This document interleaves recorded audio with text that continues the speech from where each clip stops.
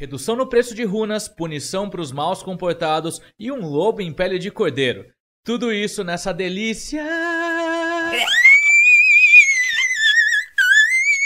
do Giro do LoL.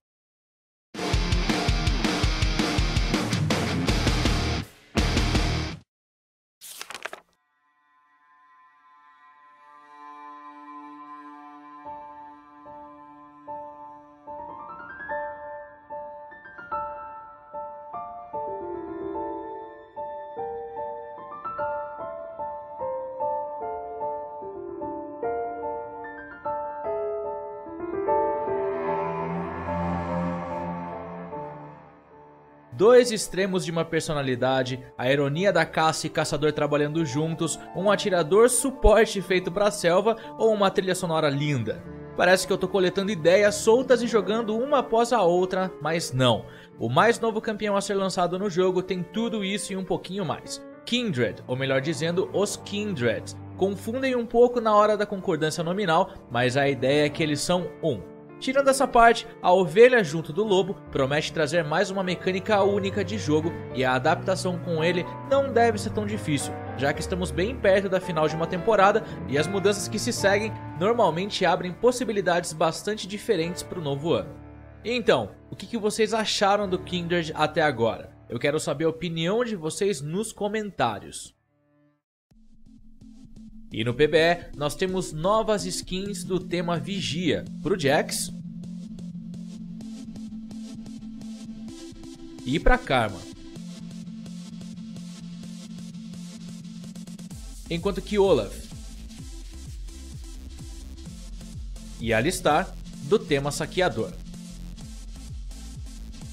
Além disso, Malfish também tem uma skin nova, que ela estava escondida inclusive na arte das skins que saíram no evento de Águas de Sentina.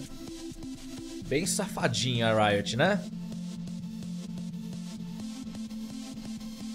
E há alguns meses atrás, a Riot havia lançado o sistema de banimento instantâneo, que resultava em um ban de duas semanas ou permanente dependendo das atitudes do jogador, caso o sistema detectasse através de chat. Se tivesse comportamento tóxico, a pessoa seria banida logo em seguida do jogo.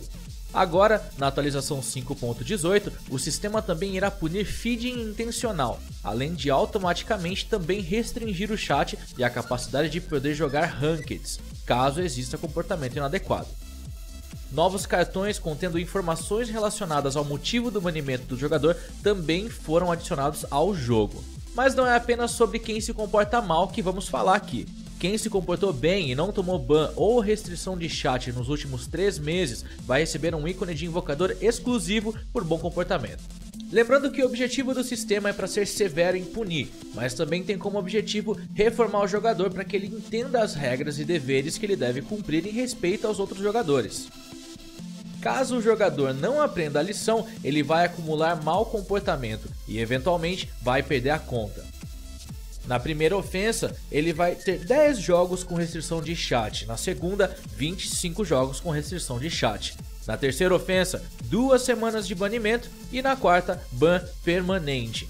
Em caso de atitude extrema, como racismo ou homofobia, por exemplo, a pessoa será banida permanentemente sem choro.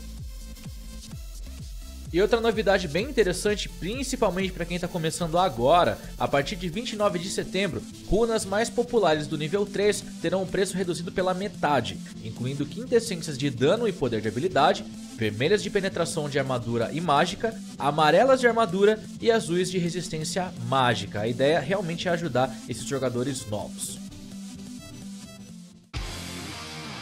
Então é isso, se vocês gostaram do vídeo eu quero que vocês provem, curtindo, favoritando e claro, publicando em todo lugar que vocês puderem para espalhar o vídeo mais rapidamente. Se vocês quiserem saber mais notícias pequenas e mudanças que ainda estão por vir, entre no site da Pounded, eu vou deixar o link aí embaixo para vocês visitarem e verem as mudanças menores que não apareceram no vídeo. Semana que vem tem mais então, até lá e tchau!